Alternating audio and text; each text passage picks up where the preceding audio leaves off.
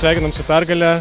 Nu, pirm, pirmi keliniai atrodė tokie prastokie, ar ne? Dvi, dviženklis pranašumas buvo varžovų, kas padėjo perlaužti rungtynės. Pirmoji daly pavargom, paskui, paskui jau po, po truputį atsitiesėm, varžovai pataikė tritaškius, antroji rusija jiems nepakrito, mums pakrito.